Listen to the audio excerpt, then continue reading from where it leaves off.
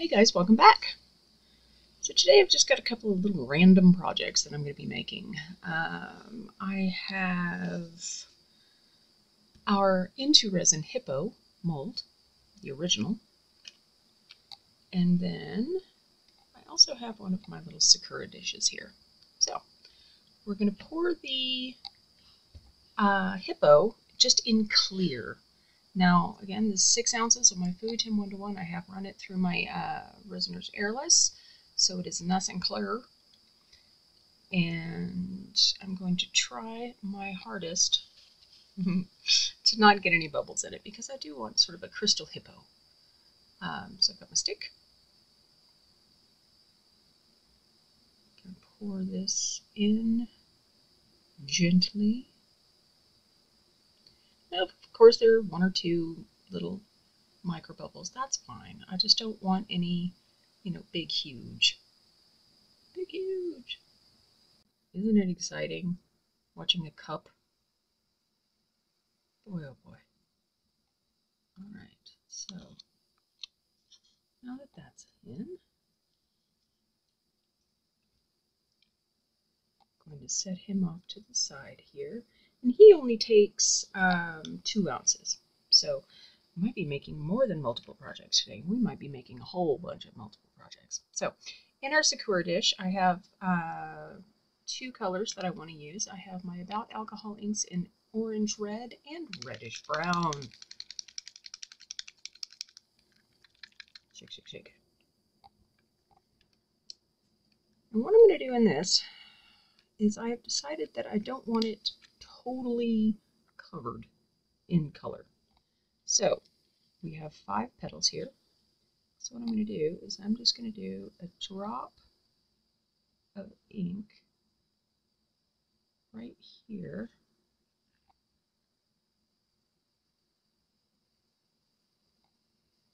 Right above each petal. So I want it subtle. I want it, you know, frankly, I don't know what I want these days. Anyway, um, so now that we've got that done, just with those four, or excuse me, five drops, I'm going to go in to the middle here and just start pouring in the middle and let that resin just take over the ink. See what it's doing there? How it's just sort of swirling around.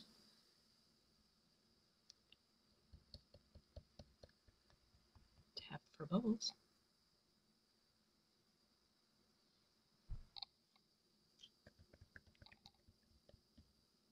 Do you see a couple of naked spots in there.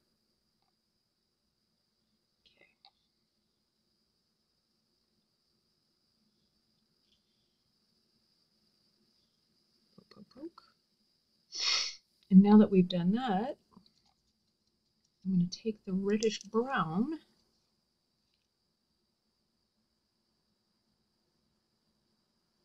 And just put one drop in the middle.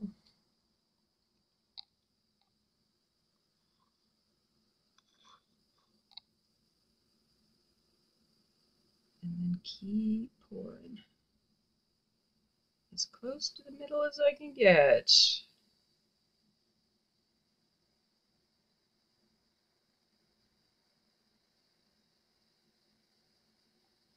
Until we get our mold filled up.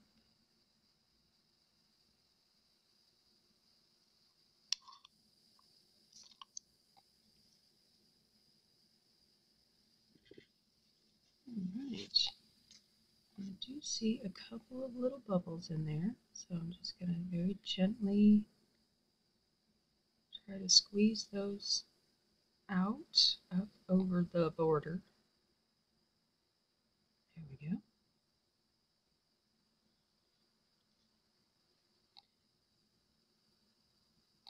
And it's pretty easy to see the bubbles if there are any in there because it is, you know, obviously a translucent mold.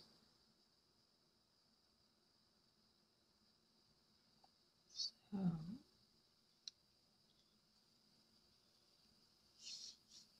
there's that. Now we have three ounces of resin left. We're going to get our leaf mold that we just made. Because it's pretty and I like it. Indeed. So, with this guy, okay, with this guy, what I'm going to do is just pour some clear.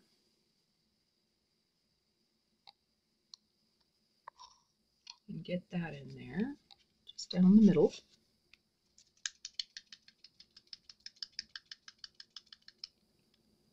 Just to sort of give it something to moisten up. Take my red copper, give it a couple of drops.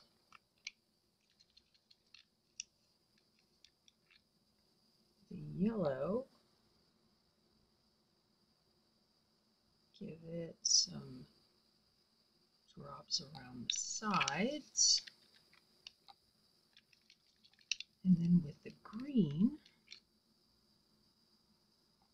just kind of fill in the blanks.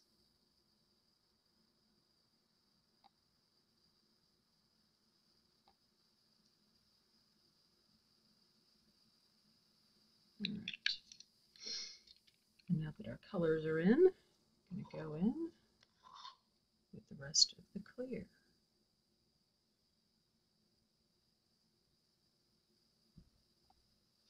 And just go kind of circular.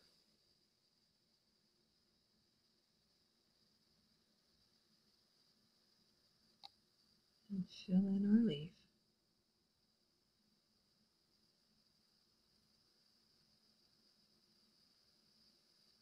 And if you're thinking, hey, neat leaf mold, Rev, thanks, made it. I will link that video for you to peruse at your leisure.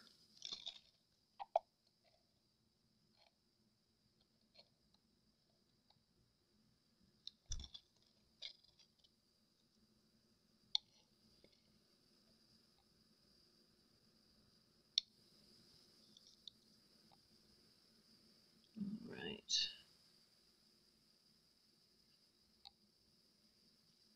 So that's done. Now, since the two out of three of these molds are handmade, one by me, one by the lovely and talented artists at Into Resin, um, I'm not going to be spraying these with alcohol. I am not going to be torching them because I don't want to ruin them. And heat and alcohol tend to degrade molds very quickly. Um, heat has a propensity to ruin molds. Um, there are some folks out there say, oh, well, it's safe to use a long neck lighter. Okay, you go ahead. I'm not going to. I prefer not to because I don't want to risk that. I spent a lot of time making this mold and the Into Resin folks spent a lot of time making this mold and I don't want to ruin them. So anyway, we're going to have our little projects here. We're going to let them cure. Uh, I'm not going to turn on the heat mat or anything. I'm just going to let them do their thing, give them their time. I am the epitome of patience with these three projects. So anyway, I will see you guys when it is time for next steps. So, see you soon.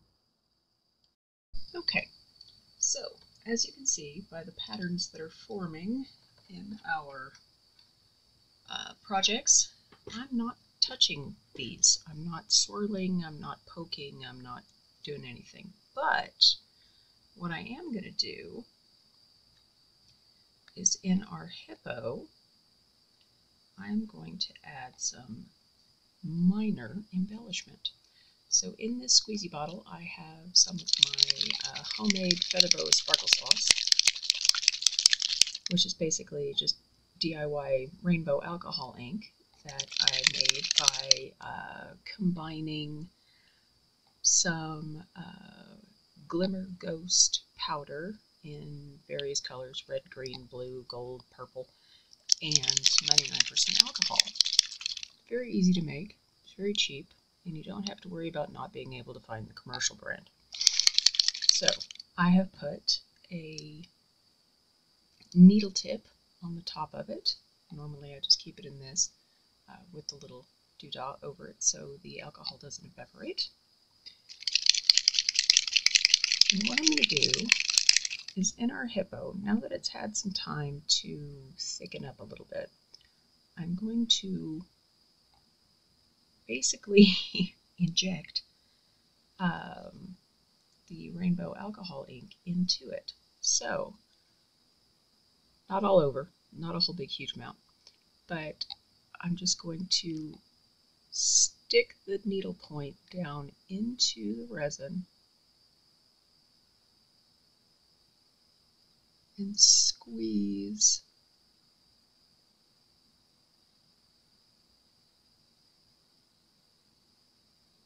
A little bit and then take it out. And what that'll do is it'll inject it, obviously, into the resin from the middle these little drippy bits are just because, you know, the bottle drips because it's alcohol. And uh, alcohol is uh, wet. so, let's give that a bit of a cleanup. Dab, dab, dab with a little paper towel.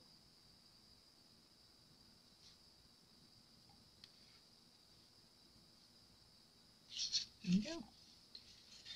I can take the needle off of the bottle, put the cap back on,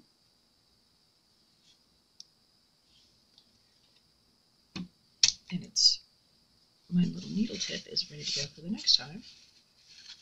And all I have to do to clean it is uh, use more alcohol. so what I do basically is uh, just spray, spray, spray. Get a pokey tool of choice. And just go around and make sure that there's nothing in there.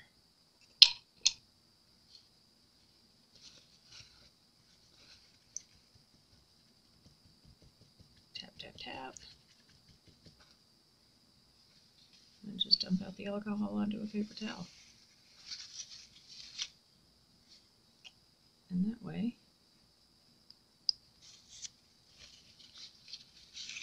it's all clean and ready to go.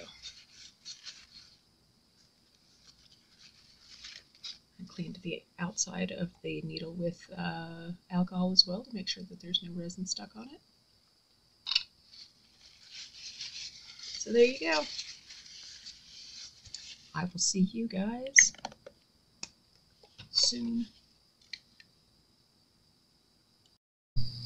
Alright, so the last step uh, before I demold everything, because uh, everything's almost completely cured, is on this guy, I'm going to go over the back of it with some of my caramel uh, UV resin. Excuse me. And the reason that I'm doing that is because I want a little bit more of a solid yellow color. But I don't want yellow, you know, I want sort of a, a well, a caramel. Work with me, folks. Cheap entertainment. right?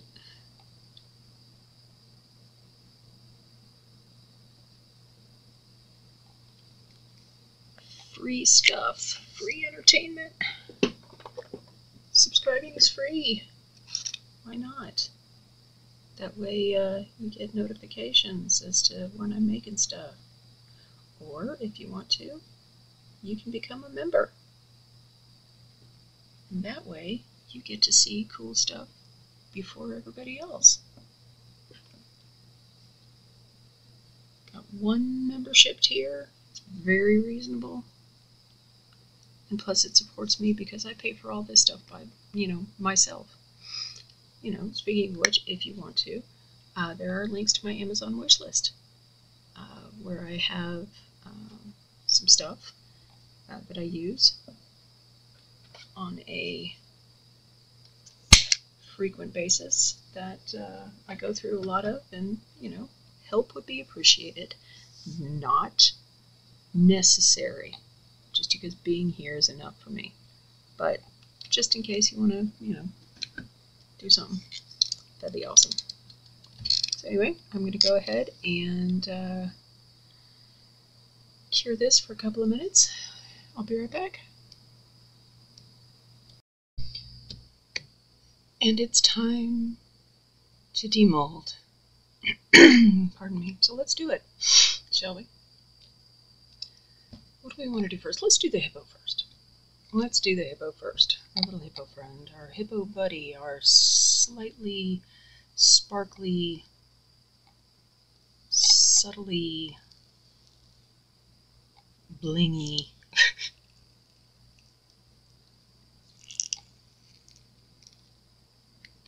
crystal hippopotamus.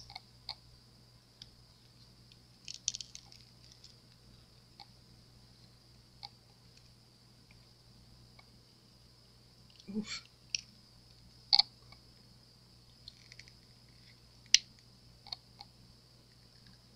Trying to be very careful because I don't, I still, you know, I'm still in that, I don't want to snap off his ears kind of thing, even though this seems rock solid at this point.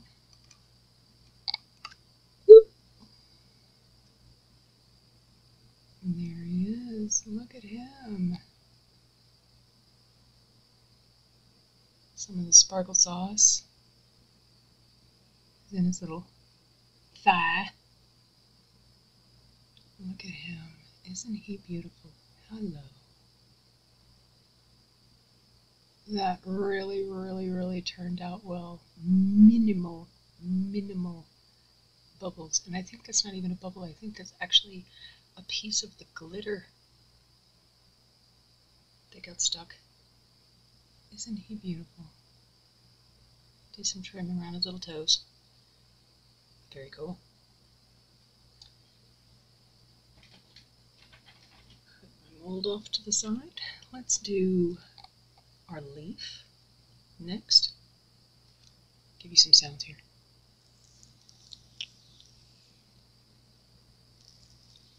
Not many sounds, but still.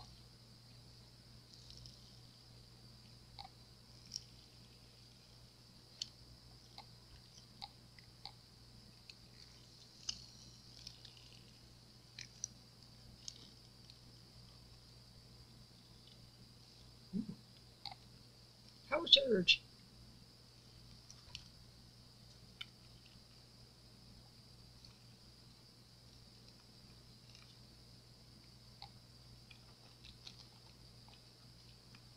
There we go.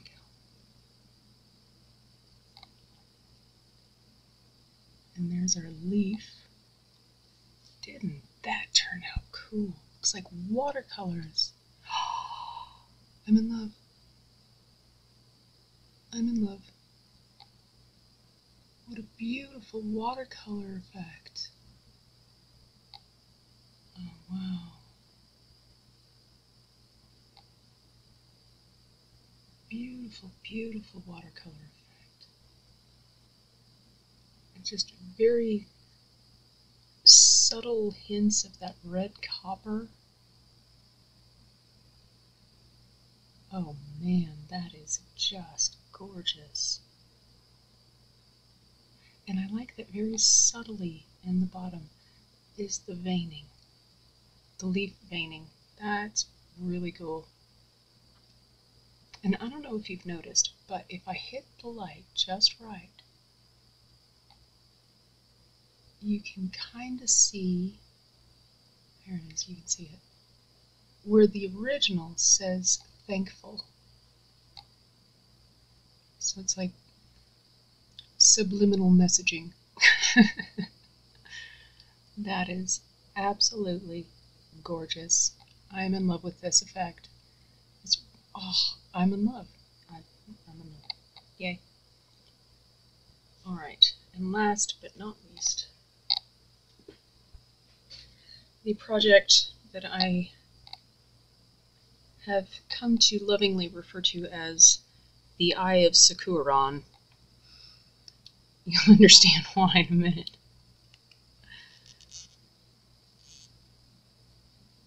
Let's get a little chink in the armor here. There we go. Good Lord, we are having some power surges this morning. Gracious sakes.